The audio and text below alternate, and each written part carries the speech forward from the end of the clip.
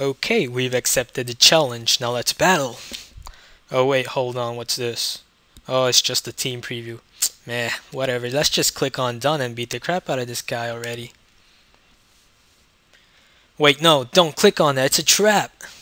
I hope you didn't click on that because that's one of the biggest mistakes players make. If I asked you, what do you think is the most important part of a battle? Most people would answer that it all depends on the battle. And that is true, but the battle itself is not the most important part. The most important part of a battle is the part that comes before the battle. That is the team preview. The team preview is the most essential tool of the game. It is the most determinant factor of a win or a loss. And sadly, most players don't use this tool to its fullest.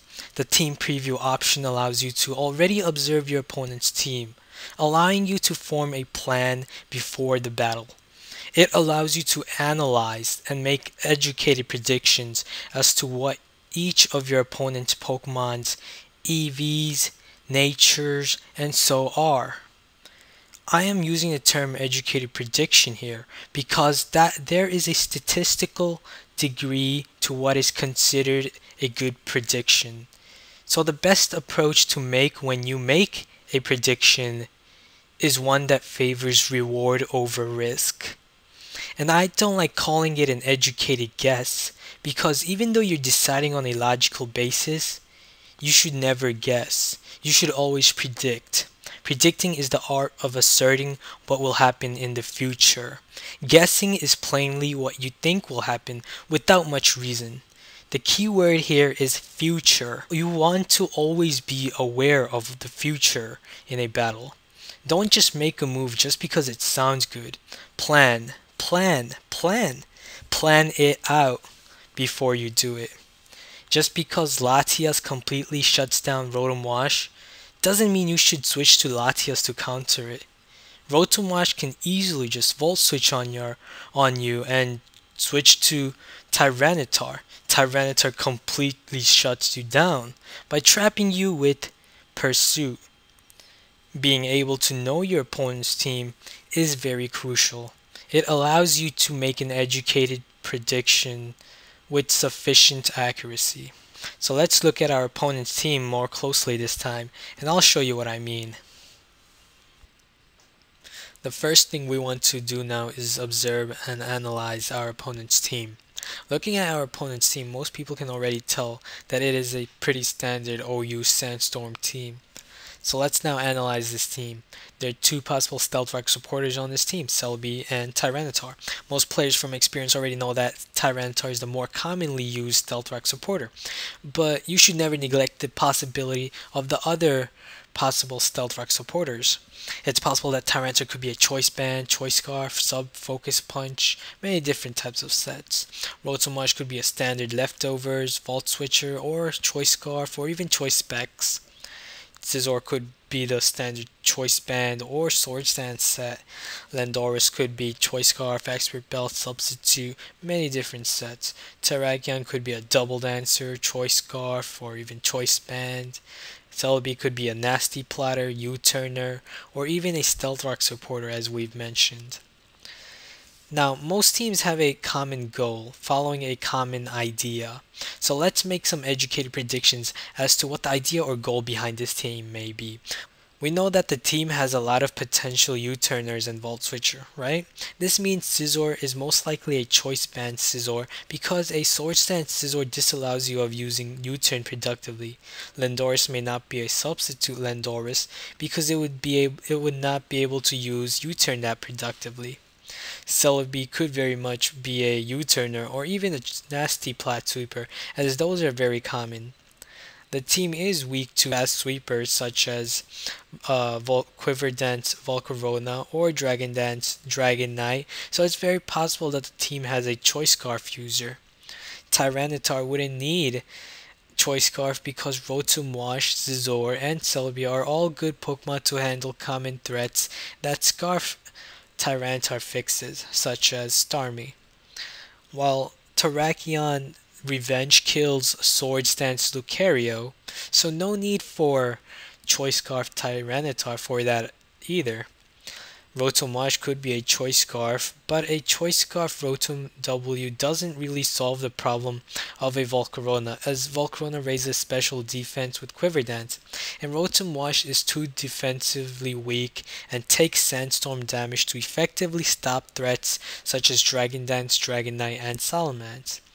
Landorus is a possible choice scarf user because it fixes most of the problems the team has and is an excellent revenge killer.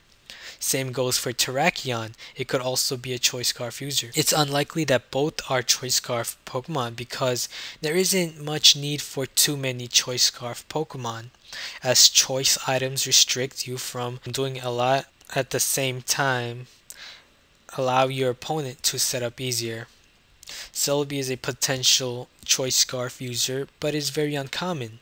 Celebi would much rather want to heal up efficiently, as Celebi is the is the main status absorber of the team, having natural cure ability, and its health is very crucial in stopping opposing rain teams.